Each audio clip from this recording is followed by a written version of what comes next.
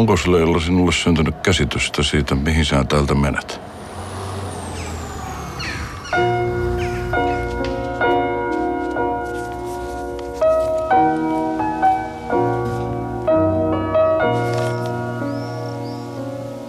Tervetuloa. Hienoa, että olet täällä. Minä olen pappi Jaakob. Minä en viivy täällä pitkään. Meillä on tässä vähän tehtävää. Posti on jäänyt lukematta jo pitkän aikaa. Selvä. Ja postia pappi Jaakobille. Missä on Jaakob?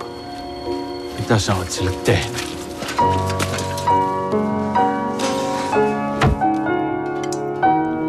En minä voi täältä mihinkään lähteä. Sitten ei ole varmaa, että kaikki kirjeet tavoittaisi. Eihän siihen kukaan kuole.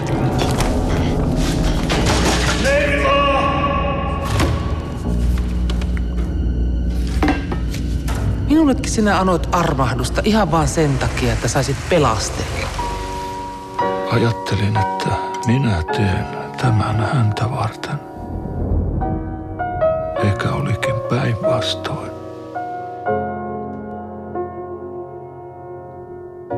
Rakastavin terveisin pappi Jaakob ja Leila Steen. No voi jumalauta.